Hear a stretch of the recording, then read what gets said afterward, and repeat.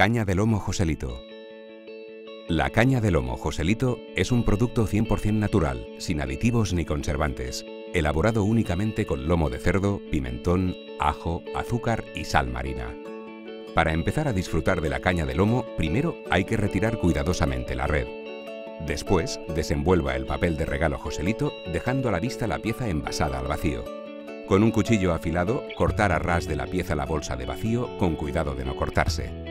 Una vez hayamos sacado la caña del lomo Joselito del envasado, se debe dejar oreando durante un día a temperatura ambiente en un lugar seco sin corrientes de aire. Para empezar a cortar la pieza, debemos cortar el cordón negro del extremo. Marcar hasta donde vamos a consumir cortando la piel alrededor de la pieza.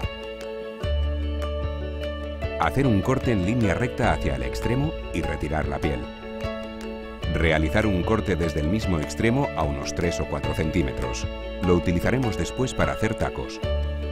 Para disfrutar plenamente de la caña del lomo Joselito, cortar con cuidado una fina capa alrededor de la porción de la pieza que vayamos a consumir. Con un cuchillo bien afilado, cortar en finas lonchas de entre 1 y 2 milímetros de grosor aproximadamente. Colocar las lonchas de la caña de lomo Joselito en un plato, superponiendo unas sobre otras, pero evitando que se amontonen. La mejor forma de aprovechar el inicio de la caña de lomo que hemos retirado anteriormente es haciendo tacos. Corta tres o cuatro pedazos colocando el inicio hacia arriba para que sea más fácil. Es muy importante la conservación de la caña de lomo Joselito.